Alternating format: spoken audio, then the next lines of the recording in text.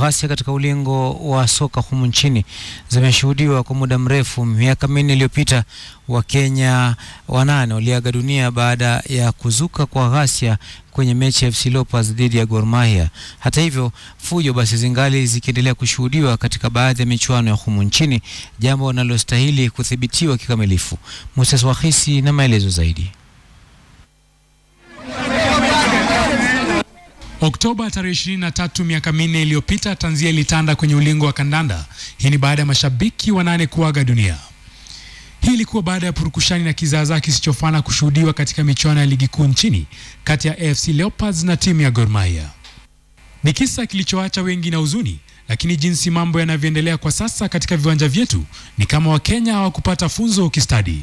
Hivi majuzi mashabiki wa klabu ya AFC Leopards walizua rabsha ugani City na wakamjeruhi refa David Omweno kando na kuharibu mali ya maelfu. Kila mara faini hutozwa vilabu husika, lakini wengine hilo sio suluhu. That will not help much. That is not a solution because tomorrow eh, their, their, their friends Gor Mahia will be punished. AFC will be punished. there. giving even a fine of 1 million. It's not the solution. The solution is to bring all the stakeholders on board.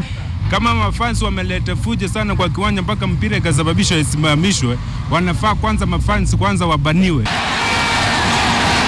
Hata hivyo, kuna baadhi ya mashabiki wenye mtazamo tofauti. Uh, adui wa AFC anaweza vaa jozi ya AFC aseme wacha niende kuharibia AFC game. Mashabiki wa kandanda nchini wanapaswa kumakinika na labda njia kuu ni kuwaelimisha ipasavyo. Football Federation under Sam Nyamweya needs to organize a seminar, organize forums for the fans for both, not even Gor Mahia and FC, all the fans, Sofapaka, Tusker, to understand the consequences. Wanafaa kukaa nao mafans wajue shida inatokea wapi hasa, juu wakati mwingine unakuta labda ni refa amefeva ile timu sana, ndio mafans nao wakakasirika, wakaamua kuleta fukusha. Visa potovu vinavyoshuhudiwa katika michuano ya kandanda vinastahili kuadhibiwa kistadi, na ni wajibu wa washikadau wote kuhakiki kuwa vitendo vitakavyosababisha rapsha na maafa sawia na yale ya miaka minne iliyopita havitendeki. Moses Wahisi, KTN Michezo.